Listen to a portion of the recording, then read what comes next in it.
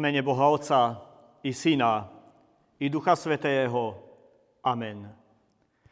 Bratia, sestry, slovo Božie, ktoré nám poslúži pri dnešnom zamyslení, nachádzame zapísané v knihe Skutky Apoštolov v druhej kapitole vo veršoch 41 a 47 v mene pánovom takto. A tí, čo ochotne prijali jeho slova, dali sa pokrstiť. I pripojilo sa v ten deň okolo 3000 duší. Títo zotrvávali v apoštolskom učení a v spoločenstve, v lámaní chleba a na modlitbách. I prišla bázeň na všetky duše a apoštolovia činili mnohé, mnoho zázrakov a znamení.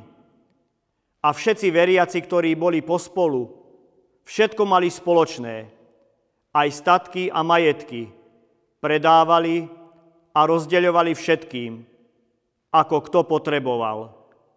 Deň po dni zotrvávali jednomyselne v chráme, lámali chlieb po domoch a príjmali pokrm s plesajúcim a úprimným srdcom. Chválili Boha a boli obľúbení u všetkého ľudu a pán pridával na každý deň takých, ktorí boli zachránení. Amen.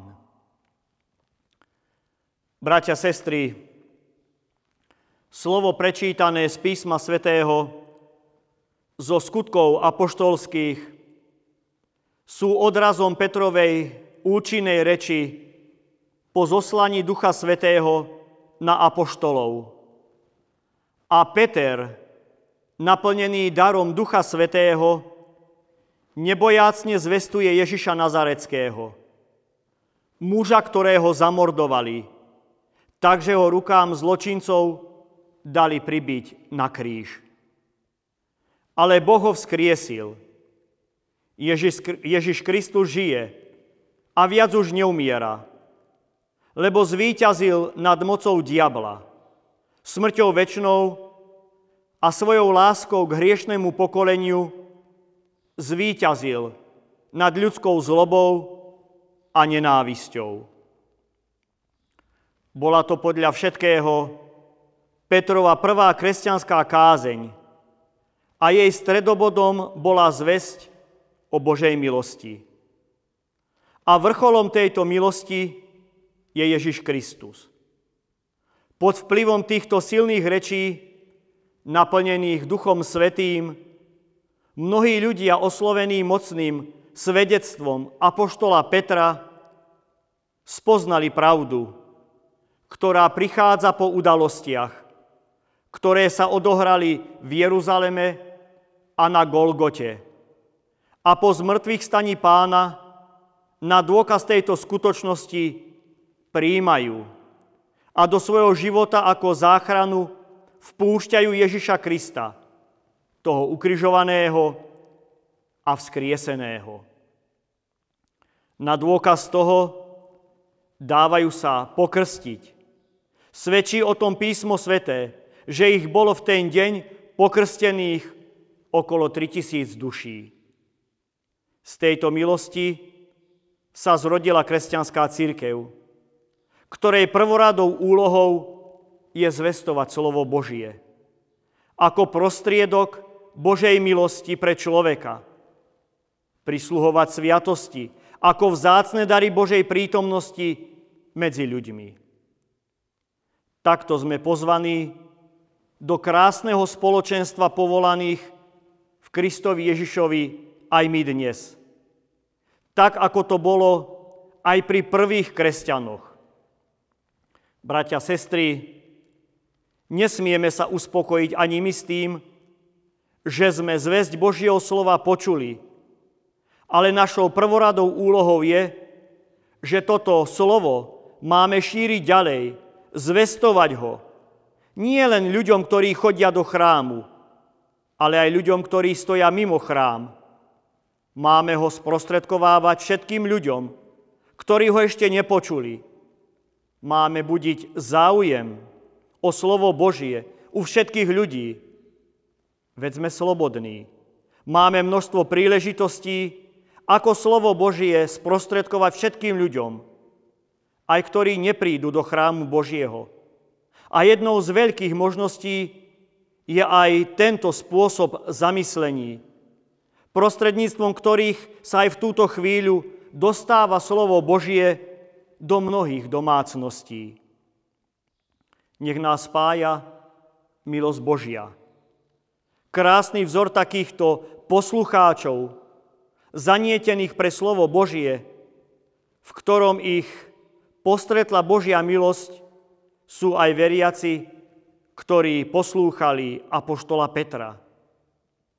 Títo noví kresťania sa pripojili k doterajším Ježišovým nasledovníkom, ktorých vyučovali apoštolovia, zotrvávali v apoštolskom učení, zúčastňovali sa modlitebného spoločenstva a spoločenstva vyznávačov Krista. Takými boli neskôr naši reformátori a naši predkovia v dobách tvrdého prenasledovania, keď im vo väzení vzali všetko a jediné, čo im vziať nemohli, bola Božia milosť, na ktorú sa vždy spoliehali. Bratia, sestry, takýmito vernými svetkami Božej milosti mali by sme sa dokázať aj my. Ale ako sa to dá v dnešnom modernom, uponáhľanom, hlučnom a dravom svete? Čo robiť, aby som Božiu milosť nestratil? V čom a v kom mám hľadať istotu, keď ju v ničom nenachádzam? Je potrebné preto, bratia sestry, v prvom rade v Božích veciach zotrvať, aby aj my sme na duchu mocneli a rástli, vychovávaní slovom Božím, posilnení sviatosťami a utvrdení vo viere, že to spoločenstvo, ktoré tvoríme, je pravé spoločenstvo dietok Božích, kde si navzájom vieme a dokážeme pomôcť. Kresťania v Jeruzaleme pochopili, že všetci veriaci sú ich bratmi a sestrami vo veľkej Božej rodine a preto mali všetko spoločné, aby sa spoločne mohli tešiť z Božieho požehnania. Spoločne znášali starosti života, spoločne si všímali všetky biedy a nedostatky, ktorými trpeli. Spoločne si všímali zničený Boží obraz v ľuďoch dôsledkom hriechu. Príklad pánov im nedovolil si nevšímať blížneho svojho. Pre neveriaceho človeka je ťažko pochopiť fakt, že by sa mal o svoj majetok a bohatstvo s niekým deliť, keď ho ženie predstava o sebestačnosti a zabezpečení svojho pohodlia a vytvorenia vlastného sveta, kde je iba on a nepotrebuje k tomu nikoho, ani Pána Boha, ani Spasiteľa Ježiša Krista. Na druhej strane veriaci človek, ktorý patrí do Božej rodiny, vie, že po vzore Pána Ježiša Krista má iným pomáhať. Ženie ho k tomu láska k blížnemu a viera, ktorú nasledujú skutky. Vo svetle viery v Ježiša Krista nám nemôže byť žiadna starosť o blížneho cudzia. My nemôžeme si povedať, mňa sa to netýka. My sme povinní hľadať za každým riešenie vo svetle Kristovej lásky, majúc na zreteli, že On prišiel, aby hľadal a zachránil to, čo bolo zahynulo. A takéto zdravé spoločenstvo veriacich ľudí priťahuje neveriace okolie bližšie ku Kristovi.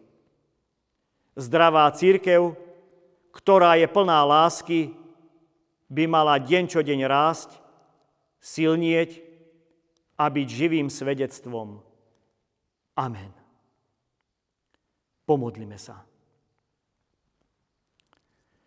Nebeský Bože, ďakujeme Ti za spoločenstvo, ktoré máme so živým Kristom pri Tvojom slove a príjmaní sviatostí.